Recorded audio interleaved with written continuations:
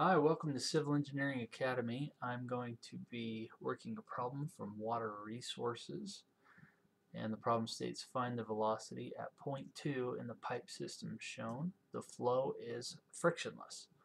I'd encourage you to pause this and try to solve this on your own before we move ahead. And if you're ready, we'll go ahead and get started. So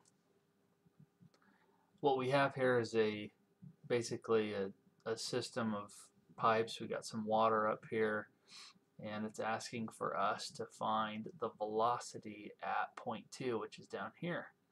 And they've given us some dimensions. We have 15 feet from the base of this all the way to the top of this tank and we have another dimension of 10 feet from where the water is down to that same point.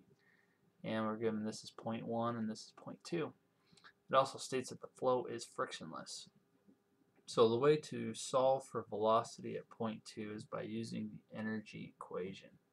And I am using the Civil Engineering Reference Manual, the CERM, and the equation I'm going to be pulling from is equation equation 17.66.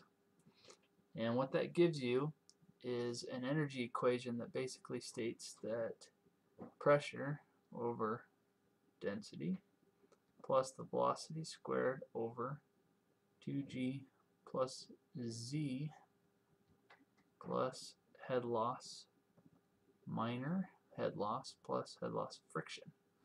So this gives you the total energy in the system.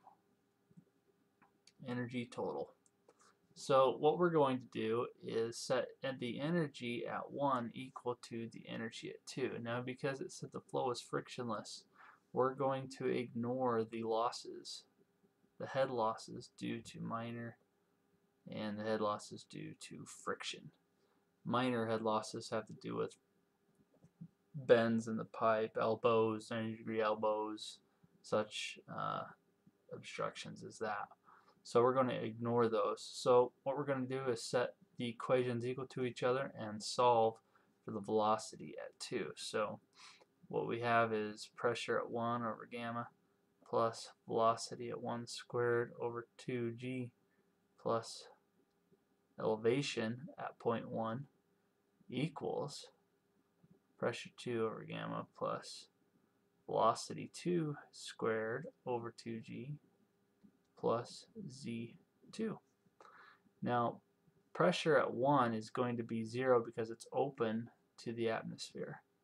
And the velocity at 1 is going to be 0 because you're dealing with a large body relative to the system. So your velocity is 0, but your elevation is still there. The pressure at 2, same thing, is going to be 0 as it is open to the atmosphere. Velocity is, is what we're solving for and we have the elevation which if we set this bottom point as our datum we know that this is actually zero.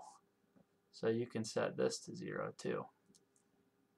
So all we need to do is solve this equation and um, basically you would get z1 minus z2 all times by 2g equals velocity 2 squared. And that basically gives you velocity 2 of equaling the square root of, um, well, we, we can start plugging in our numbers.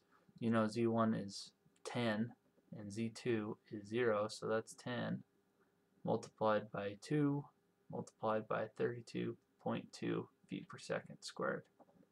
And that will give us our velocity. And if you work that out, you get an answer of 25.38 feet per second, which gives you the answer A. Hope you enjoyed this video. Check out more videos where we solve more problems to help you study for the PE exam, or check out civilengineeringacademy.com to help you out with your PE. Thanks, bye.